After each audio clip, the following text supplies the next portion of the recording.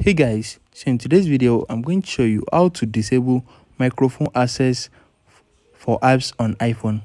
So if you feel like one app is making use of your microphone to listen to what you are saying or what you are doing in some other places in some places let me show you how to disable the microphone access.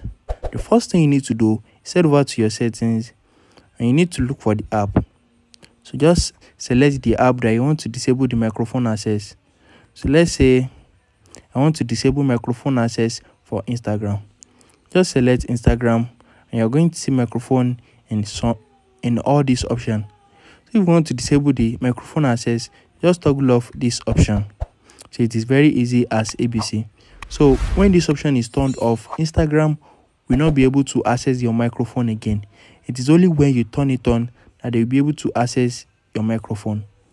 So if it is some other apps on your iphone look for the app and you'll be able to turn off microphone access.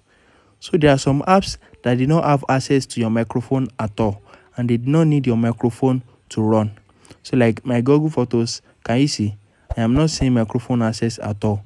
So that means this app did not have any access to my microphone and and i can't even enable or disable it.